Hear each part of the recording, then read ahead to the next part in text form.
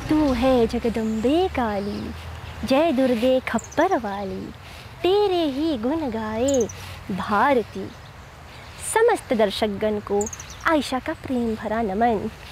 केवल भारती ही नहीं, अपितु पूरे विश्व में माता भवानी का गुणगान किया जाता है। माता रानी का यह महोत्सव दुनिया भर में मनाई जाती है, भारत, अफ्रीका, यूरोप तक। और हर जगह माता रानी का दरबार, बड़े प्रेम एवं उत्साह एवं सुंदरता से सजाई जाती है। इन नौ दिनों में हम लोग उस शक्ति की आराधना करते हैं, जिनकी कृपा से इस सृष्टि की रचना हुई है।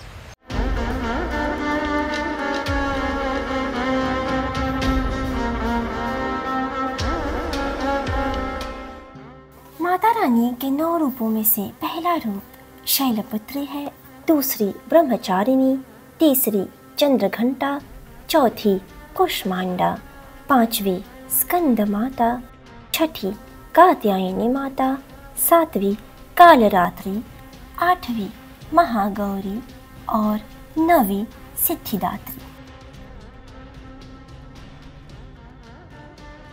नौ दिन हम लोग माता रानी के अनेक रूपों की आराधना करते हैं।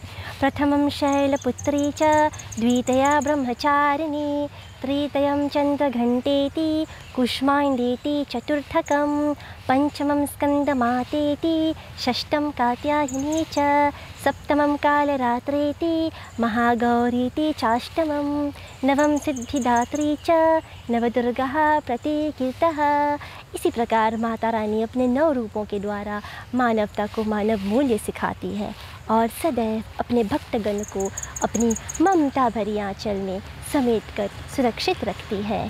तो चलिए हमारे साथ दुर्गा महोत्सव की महानता एवं महत्व का अध्ययन करते हुए इस नवरात्रि को और भी विशेष ग्रस्त बनाते हैं।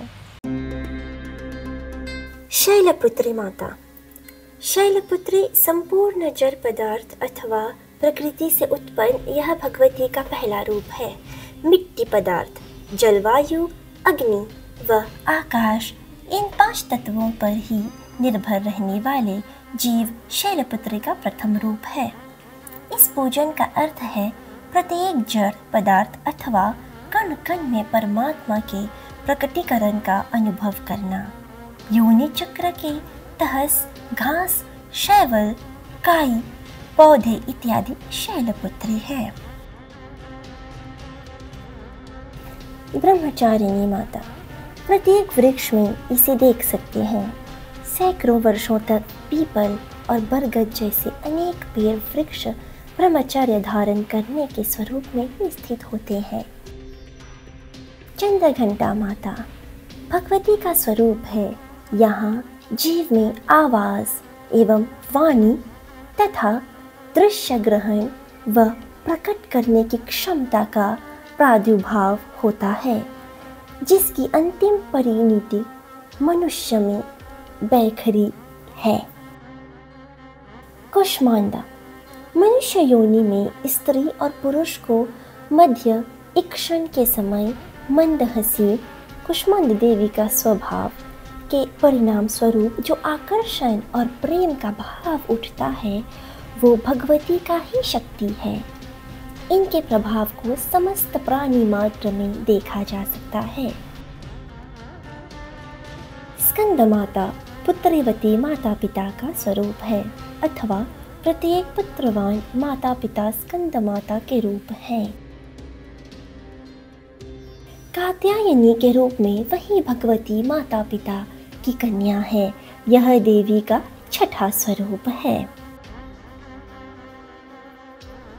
रात्रि देवी भगवती का सातवां रूप है, जिससे सब जड़ चेतन मृत्यु को प्राप्त होते हैं। अपरा और परा विभक्त हो जाते हैं। मन की मृत्यु के समय सब प्राणियों को इस स्वरूप का अनुभव होता है। भगवती के इन सात स्वरूपों के दर्शन सबको प्रत्यक्ष सुलभ होते हैं, परंतु अथवा और नवा स्वरूप परा प्रकृति होने के कारण सुलभ नहीं है। महागौरी भगवती का आठवां रूप, महागौरी जगत की कालिक वृत्ति न रहने के कारण गौर वर्ण का परम शुद्ध व परम पवित्र है।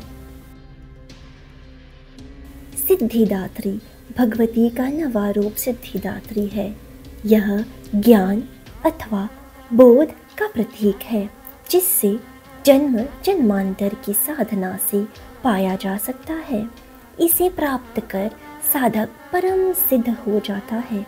इसलिए इसे सिद्धिदात्री कहा जाता है। इसमें शक्ति स्वयं शिव हो जाती है, पार्वती स्वयं शंकर हो जाती है और राधा स्वयं कृष्ण हो जाती है। आत्मा अर्थात जीवात्मा अपने परम स्थिति में परमात्मा हो जाती है। हर नारी में है शक्ति। इसी तरह माँ दुर्गा के हर नाम से ही उसका अर्थ उच्चाटित हो जाता है। माँ स्त्री शक्ति को भी रूपायित करती है। सनातन की सीख है कि स्त्री अगर कुछ अर्थों में वंचित है तो वह मुक्ति, शक्ति व अधिकारों की पात्रा। अधिकृता व अधिकारिणी भी है। वह आधुनिका समर्था है। वह सदा शिव की पूरक रही है। प्रकृति का पुरुष से व शिव का शक्ति से सहकार, समता की धारातल पर है। यथा भगवान शिव पर प्रीति रखने वाली, भारी या महती तपस्या करने वाली, जिसके स्वरूप का कहीं अंत ना हो, सबको उत्पन्न करने वाली भावना एवं ध्यान करने वाली, जिससे बढ़कर भव्य कोई और नहीं, रेशमी वस्त्र पहनने वाली, असीम पराक्रम वाली इत्यादि है माँ भवानी। शक्ति के बिना शिव भी शव है। समस्त आगम शास्त्र पराशक्ति की महिमा का गुणगान करते हैं। बिना पराशक्ति से शक्ति प्राप्त किए हुए ब्रह्मा, विष्णु तथा महेश भी रचना पालन तथा संहार का कार्य नहीं कर सकते। स्वयं शिव जी माँ पार्वती से कहते हैं, हे पार्वती, तुम्हारे बिना मैं मृत शव हूँ। तुम्हारे साथ रह के ही मैं महादेव और सब कामनाओं की पूर्ति करने वाला बन जाता हूँ। सर्वमङ्गलमाङ्गल्ये शिवे सर्वार्थसाधिके शरण्ये त्र्यंबके गौरी नारायणी नमोस्तुते। ज़िंदगी की हर तमन्ना हो पूरी। कोई भी आरज़ू ना रहे अधूरी। कहते हैं, हाथ जोड़कर माँ दुर्गा से बिनती कि आपकी हर मनोकामना हो पूरी। जगत पालन हार है माँ, मुक्ति का धाम है माँ, हमारी शक्ति का आधार है माँ। सबकी रक्षा की अवतार है माँ। जय माता दी।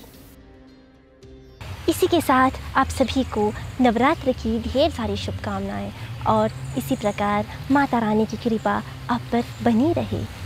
धन्यवाद।